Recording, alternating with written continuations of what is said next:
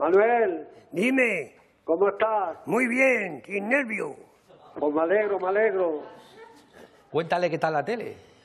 Que aquí se está muy bien, que digamos Claro. que aquí se pasa estupendamente la tarde.